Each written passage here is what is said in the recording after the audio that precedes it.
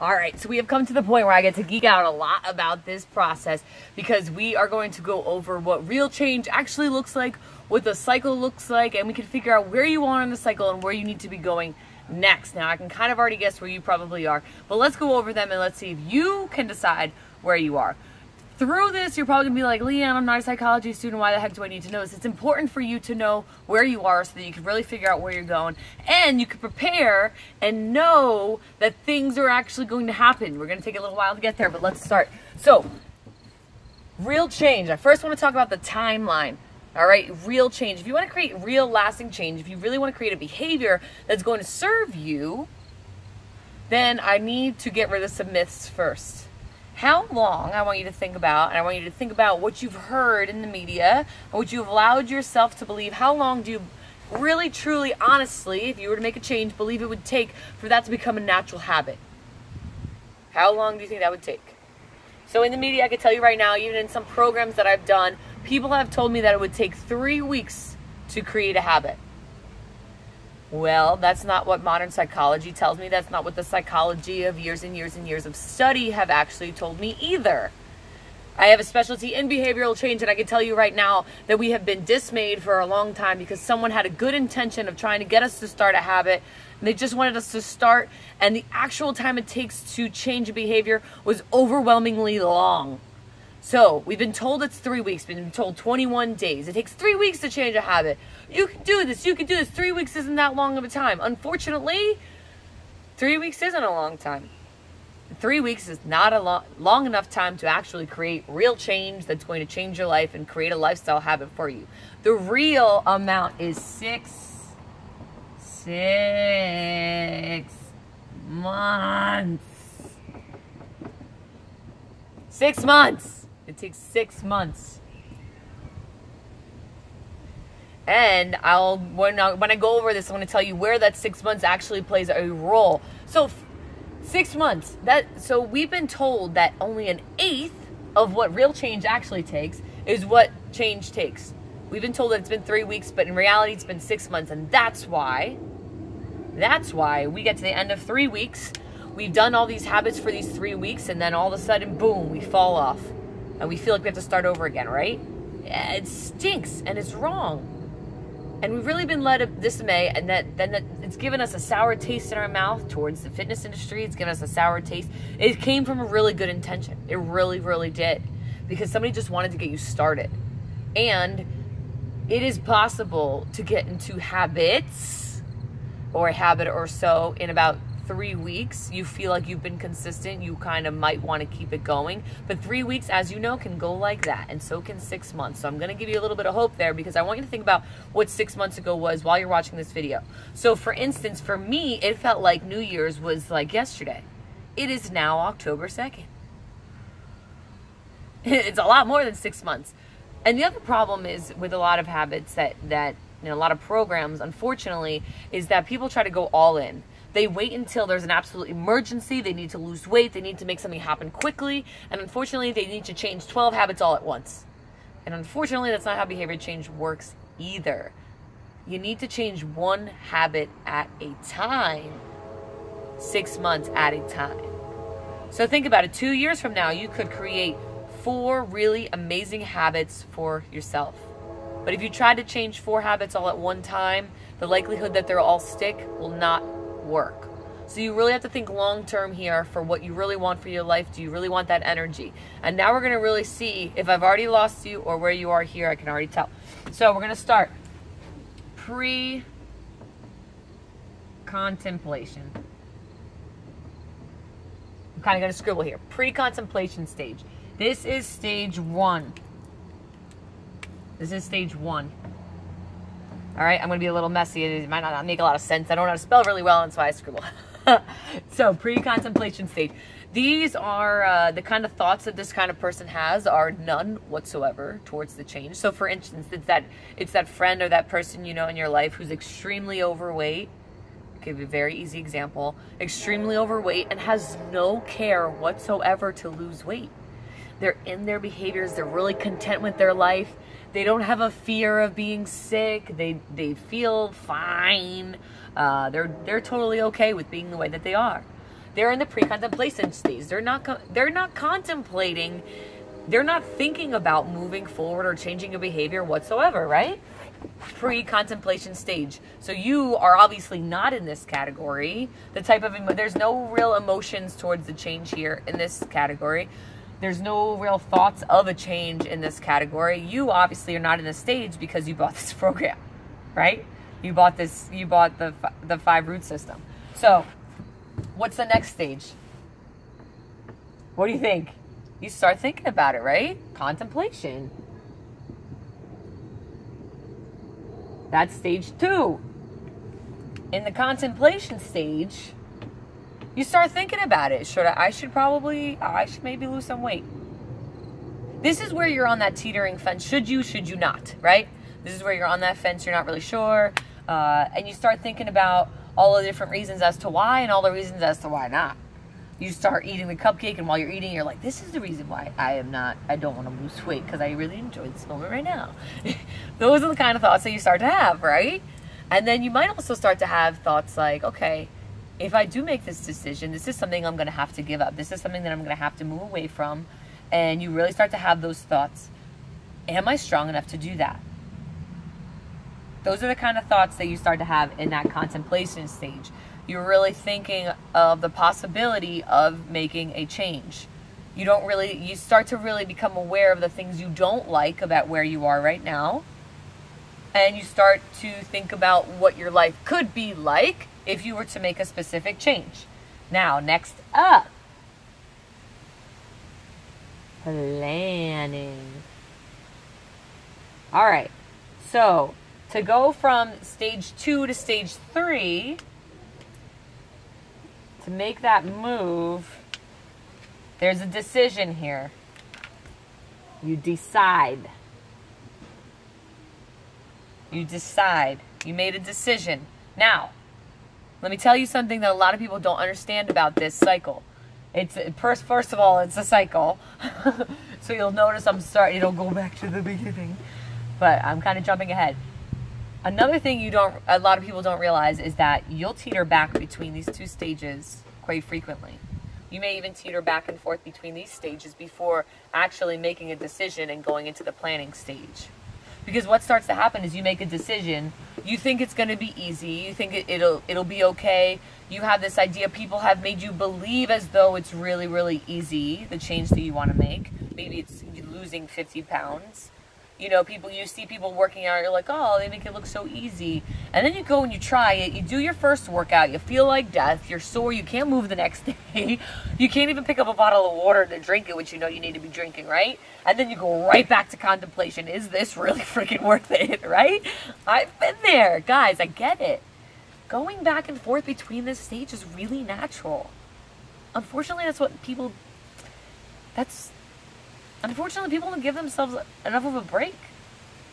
And that's where the guilt trip starts to happen. They believe that once they make a decision, hey, they're a coward if they go back.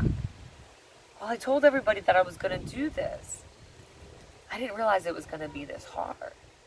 And the guilt trip starts to happen, and you start thinking about what everybody else is going to think when you feel like you're quitting.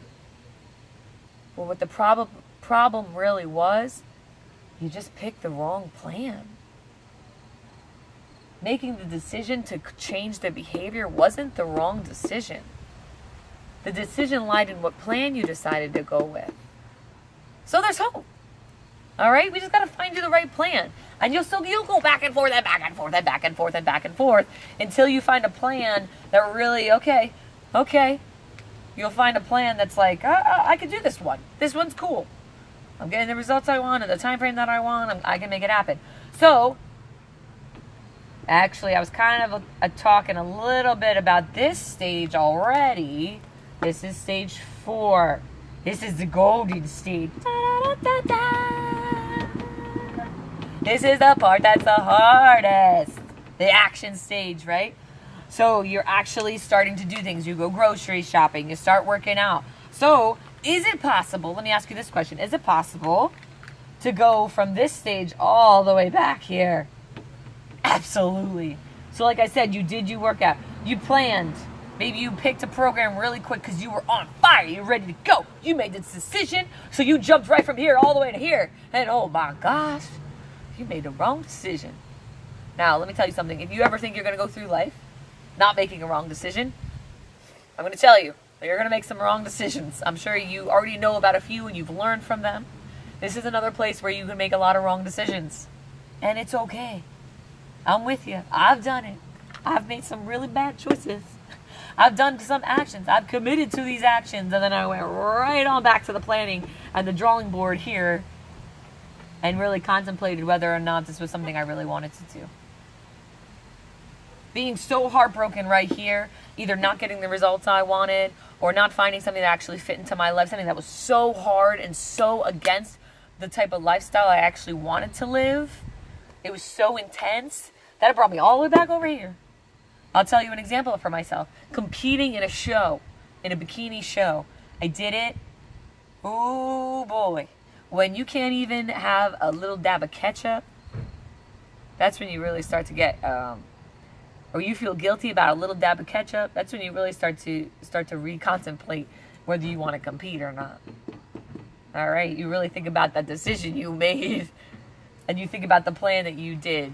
When you're a vegetarian and you decide to compete, and your whole plan is full of meat and you start getting sick because you haven't had meat in months, you start to realize you made a bad decision. okay? So I've been there. I've done it in a few different ways, especially with losing weight too. So this is where the bread and butter is. Okay? After you do this for six months, consistently, the same thing for six months, that's when you can go ahead and move maintenance. The maintenance phase. That's where it becomes a lifestyle. Okay? That's that's where that lifestyle lays. But this takes six months. And that's where the red flag kind of comes up. Six months. It takes six months of action to even get to the maintenance stage. Action is kind of where you're you're it's action. You're doing stuff towards it. And then you have the maintenance stage where you're taking care of it. And it's easy. And maybe you take one day off or whatever. And you take two days off, but it's easy to get back right back into. It's very easy to get back into. For instance, I feel really weird when I don't work out for two days in a row. One day is okay because I, I built that into my schedule where I get one day off. I'm usually bopping around playing outside, frolicking in the grass, playing sports or something, but I'm taking off from strategic workout, strategic plan there. All right? I've gone into the maintenance stage. It's very easy for me to maintain the lifestyle. It's not a cognitive thing I have to do. Remember, the next video we're going to talk about that neural pathway again. I, I kind of already touched on it in the previous videos, but this is where you've recreated that neural pathway, and that's why it takes six months. Now, if you're a baby, it might take three weeks, but for somebody who has all these previous behaviors and all this previous neural pathway that you need to tear down and build a new one, it's reconstruction site, it's going to take a good six months to do that. Because not only are you creating a behavior, but you got to get rid of other ones too. Now you're starting to get, I hope you're really starting to get it. Because this is very simple. It's not complicated. It's not complicated. But it's really important for you to understand where you are. So where are you right now? Are you in that action stage? Do you find yourself daily going back and forth? back and forth, back and forth, right? you know, action back to planning, action back to planning. You know, maybe your action, unfortunately, your program wasn't six months long. So you needed to find another program. So you had to go from action back to planning. And if you're not planning while you're in action, you might have to start back over. The worst thing you can do is set a plan that's maybe three months and you don't have a plan for after those three months or set a plan for three weeks and you don't have a plan for after the three weeks. It is absolutely wonderful to have a six month plan and then break those goals down to three week plans. But you have a six month plan. You know you're in for the long haul. You know that you're committed for at least this amount of time. This is the minimum requirement for behavior change, guys. So, this Route 5 is going to take six months. It could even take longer because it is five brand new behaviors if you don't have any of them in place right now. For the majority of you, you probably have one, two, maybe three of them in place right now, and you actually realized you were in a better place than you thought. And you realized you were guilting yourself and you were going back to the planning board when you didn't really need to because you were acting exactly how you were supposed to. But media told you that you weren't taking the proper action. Did you notice exercise wasn't in there?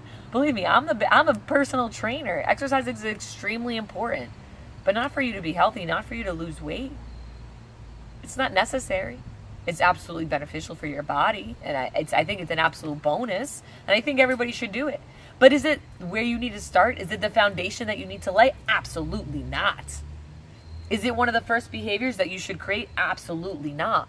Sleeping that uh, the right amount, those root five, and then sleeping would actually come next above working out. In all honesty, sleeping would come before exercise, in my opinion.